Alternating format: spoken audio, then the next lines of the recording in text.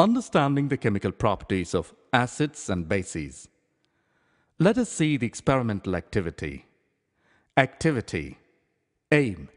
To identify acids and bases using indicators and litmus paper. Requirements.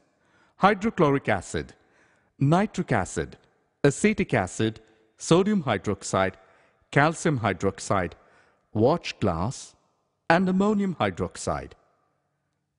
Take 2 to 3 drops of solution on two watch glasses from the samples like HCl, HNO3, CH3, COOH, NaOH, CaOH2, and NH4OH.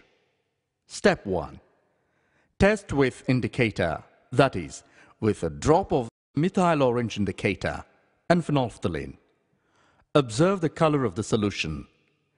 Here we can observe the color change in one watch glass containing acid added with methyl orange indicator, which is red in color, and the other watch glass containing acid when added with a drop of phenolphthalein indicator, which is colorless after addition.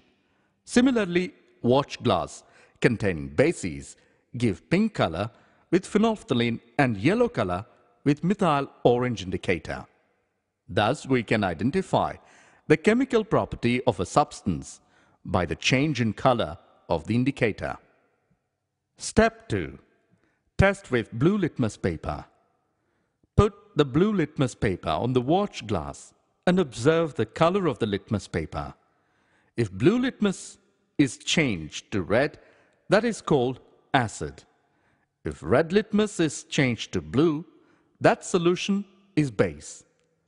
Finally, from these indicators tell whether a substance is acid or base by observing change in color. Some substances whose odor changes in acidic or basic media are called olfactory indicators.